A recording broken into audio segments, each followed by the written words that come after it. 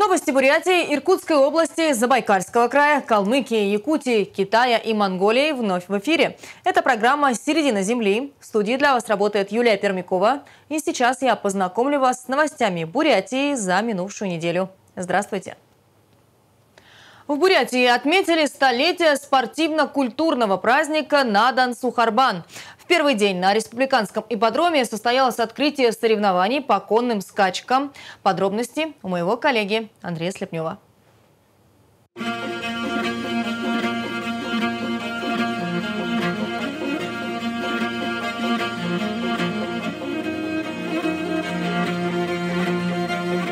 И стартовал, пожалуй, главный спортивный праздник лета Евсея Бурятии Сухарбан. По уже давно сложившейся традиции в первый день соревнований проводятся состязания по гонным скачкам. В этом году они вернулись на историческое место и проводятся на территории республиканского ипподрома. Более 90 лошадей соревновались в 10 заездах от 1200 метров до 21 километра. На скачках были представлены кони верховых, полукровных, рысистых, улучшенной и бурятской пород. Некоторые наездники принимают участие в этих состязаниях уже много лет. Любителей больше стало. Ну и, соответственно, зрители каждым годом больше и больше. Сам Сурхарван для нас, он это такой всегда ожидаемый, ежегодно мы ждем его, этот праздник, готовим своих лошадей, готовимся к борьбе. Вот эти два дня будет такое хорошее праздничное настроение, всем того же желаю. На торжественном открытии к зрителям и участникам скачек обратились глава Бурятии Алексей Цыденов и министр спорта и молодежной политики республики Иван Козырев. Всех с праздником, с Ухарбаном, праздником, когда наш народ собирается. Традиционные игры, традиционные состязания, состязания духа, состязания силы, воли, и пусть наша земля знает только спортивные состязания. Желаю всем всего самого хорошего. С праздником, с началом, с открытием нашего Сохарбана. У нас проходят конные скачки. Это всегда очень азартное, очень зрелищное событие. Я желаю всем получить массу незабываемых впечатлений, эмоций, чтобы обязательно скакун, за которого вы болеете, одержал победу. Главный летний национальный спортивный праздник каждый год собирает тысячи зрителей и участников со всей республики. Абсолютным чемпионом в конных скачках стал Жаргал Пурбуев из Иволгинского района. Андрей Слепнев, «Середина земли», Бурятия.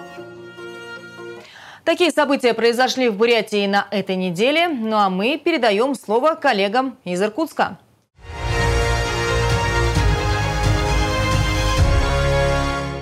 Спасибо, коллеги. Приветствуем зрителей информационной программы «Середина земли». В студии телеканала АИСТ Анастасия Москвитина. Сегодня мы расскажем вам о событиях, произошедших в Иркутской области за минувшую неделю. Книжному приюту нужна помощь. Здесь спасли от уничтожения более 80 тысяч изданий. Чтобы пережить суровые сибирские зимы, владелец Евгений Гинтов хочет поставить на территории теплушку. Для чего она нужна, о будущем проекте узнала наш корреспондент. Книжный приют знают и любят не только иркутяне, но и гости города. Это по-настоящему уникальный проект. Здесь собрано более 80 тысяч книг. Услугами приюта пользуются разные организации – библиотеки, университеты, школы и многие другие. Посетителей принимают круглосуточно в любую погоду. Даже в 40-градусные морозы есть люди, которых тянет к знаниям. Несмотря на все это, мысль о расширении все же появилась. И это не спонтанное желание, а скорее необходимость. Скоро на этом месте появится первое теплое помещение. Благодаря ему проводить время с комфортом здесь можно будет любую погоду. Особенно речь идет о суровых сибирских морозах. Тут будут согреваться волонтеры и гости книжного приюта. Раньше на этом месте стоял контейнер. Чтобы его убрать, пришлось заказывать кран. Тяжелый груз переносили через деревья. Но это только начало работы. Из-за большого веса книг, которые будут там находиться, а это почти 9 тысяч тонн, подойти к стройке нужно ответственно. Теплое помещение у нас планируется в строительстве именно из клееного бруса, потому что это на сегодняшний день по рекомендациям, по тому, как мы советовались со специалистами, э, проектировщиками, говорят, что это материал, который нам по всем характеристикам подходит, у него хорошая нагрузка он может держать.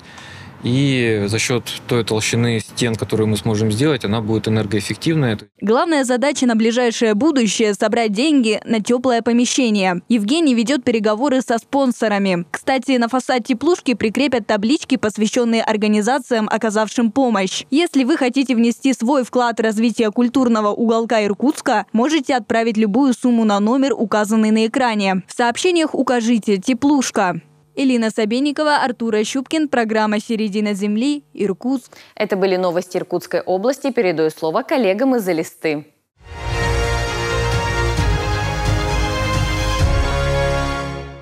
Спасибо, коллеги. Мы приветствуем всех телезрителей международной программы «Середина Земли». В студии национального телевидения Калмыкии для вас работает Наталья Доржиева. Как найти иностранных покупателей и построить систему продаж на внешних рынках?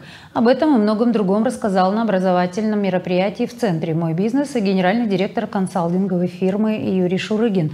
Спикер уверен, что степному региону есть что представить на экспорт.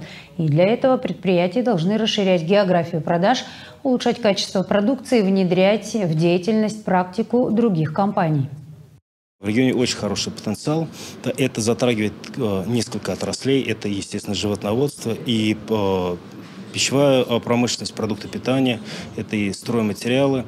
Вот, и здесь, и, ну, конечно же, туризм, да, как экспорт услуг, тоже потенциал очень хороший. Вот, и я вижу большой потенциал, в том числе связан с тем, что в регионе работает эффективная команда, которая возглавляет Центр поддержки экспорта. Это все, о чем мы вам успели рассказать, и сейчас мы переходим к новостям из Якутии.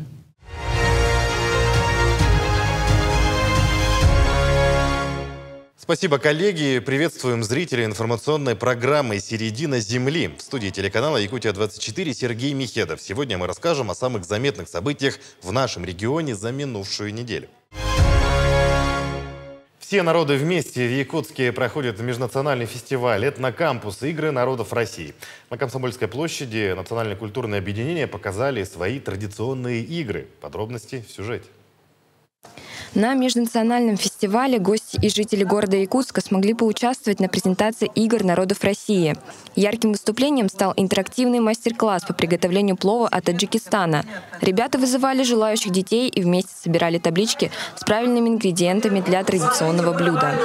Сегодня представляют национальные таджикские игры. Мы знакомим всех участников, в том числе и участников э, восьмых игр «Дети Азии». А мы не только показываем, но также предлагаем зрителям вместе с нами сыграть, научиться и понять. Ну, таким образом, объединяя, э, игра, она объединяет э, разные народы, и очень видим здесь, э, что у многих народов игры даже очень схожи, и тем самым показывая, что э, есть вот некое единство народов. Проект «Этнокампус» прошел с целью сближения и единства народов. На межнациональном фестивале игр представители Якутии, Армении, Таджикистана, Узбекистана, Республики Тува, Татарстана и славянских народов провели время вместе, узнавая что-то новое друг от друга. Гости из других республик были рады увидеть и узнать культуру Якутии и также поделиться своими традициями. Насколько крепка дружба в России, насколько это важно, что многонациональный народ объединяется и демонстрирует все вместе то наследие, которое им передали предки. Ведь э, игра, любая игра, она нацелена не только на выявление лидерских качеств, да, но это прежде всего, наверное, э, формирование команды, да, то есть командные виды спорта, они всегда э, нацелены на дружбу между людьми. Также и здесь любая игра нацелена на дружбу между народами. Этнокампус — это национальный проект, который регулярно проводит фестивали на разные тематики с целью собрать всех вместе и показать, что такое дружба народов. Также он приобщает детей и молодежь к традиционным духовно-нравственным идеям межнационального мира и согласия. Александра Котельникова, Арсен Степанов, Якутск. Такими были наиболее интересные темы недели на телеканале «Якутия-24». Ну а мы передаем слово международному блоку новостей.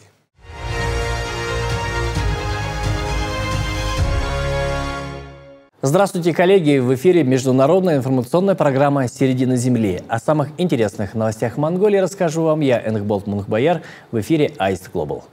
В Монголии впервые избрали парламент из 126 членов. На выборах в Великий государственный Хурал проголосовало 70% граждан. Подробности далее. Этот год стал особенным в истории парламентских выборов. В них принимает участие рекордное количество конкурирующих партий – 19 и 1400 кандидатов – Президент Монголии Уханаген Хурулсух на выборах в Великий Государственный Хурал отметил, что это первые парламентские выборы после принятия нового закона, который ввел смешанную избирательную систему и увеличил число депутатов с 76 до 126. В Ламбаторе была организована работа 513 избирательных участков. В Монголию прибыли 259 зарубежных наблюдателей из 40 стран. От 19 партий, двух политических блоков и 42 независимых кандидатов зарегистрировались 30 тысяч наблюдателей. Все они имели возможность следить за контрольным ручным подсчетом бюллетеней, прошедших через счетные устройства для голосования. Хорошая организация выборов, слаженная работа Центральной избирательной комиссии Монголии. Это видно и по организации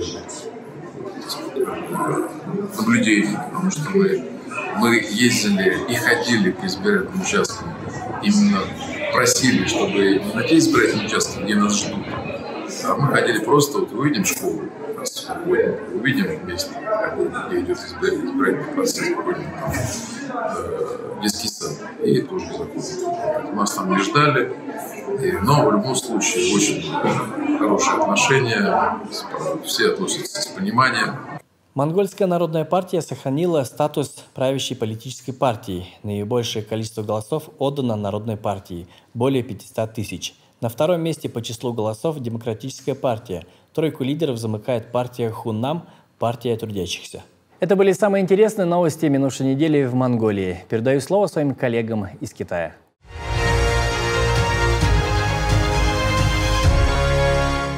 Приветствую зрителей международной информационно-аналитической программы «Середина Земли». С вами Анастасия Коршунова из пекинской студии телеканала CGTN «Русский». Китайские тайконавты миссии Чане-6 привезли на Землю грунт, собранный с обратной стороны Луны. Образцы уже доставили в Пекин для дальнейшего изучения. В чем же ценность этих образцов и планы Китая по исследованию естественного спутника, узнаем у моих коллег. Это пятый институт китайской аэрокосмической научно-технической корпорации. Именно сюда, из внутренней Монголии, где приземлился возвращаемый модуль, доставили образцы лунного грунта – Церемонию его извлечения и передачи для дальнейшего хранения и исследования провели в торжественной обстановке. Она продлилась около 50 минут. Миссия Чанлэ-6 носила поистине исторический характер. До этого лунный грунт уже доставляли на Землю десяток раз, но образцы всегда брали с лицевой стороны Луны. По данным ученых, в среднем их возраст составлял около 3 миллиардов лет – Образцам, привезенным в этот раз, по предварительным оценкам, на миллиард лет больше. Еще никто не добывал образцы грунта с обратной стороны Луны. Ученые многого ожидают от работы с ними. Совершить посадку на обратной стороне Луны, взлететь с нее, быстро провести стыковку, вернуться на Землю. Успешная реализация всех этих этапов – очень хорошее подспорье для следующих миссий, как беспилотных, так и пилотируемых. Одним из ярких моментов миссии стала установка на обратной стороне Луны китайского флага из очень необычного материала – волокна из базальта, вулканической породы, которая встречается и на Земле, и на Луне. На Луне богатые залежи базальта, поэтому если в дальнейшем будет строиться лунная база, то строительным материалом для нее может стать базальтовое волокно. Разработками, касающимися будущего строительства лунной станции, уже почти 10 лет занимаются в Хуанчжунском университете науки и технологий. В созданном на его базе Центре разработки цифровых инновационных строительных технологий предлагают метод обжига кирпичей из лунного грунта и другие инновации. Это микроволновая вакуумная камера. Внутри нее сейчас материал, имитирующий лунный грунт. Мы разогреваем его до 1000 градусов по Цельсию. После такой обработки грунт превращается в лунные кирпичи. Еще одна наша наработка — это строительство при помощи трехмерной печати. Таким образом, используя доступный там материал, можно будет вести масштабные строительные работы. Пока это дело будущего, но, возможно, уже не такого далекого. Первую пилотируемую миссию на Луну Китай планирует запустить к 2030 году. И на сегодня это все. Спасибо за внимание. До встречи на следующей неделе в эфире программы «Середина Земли».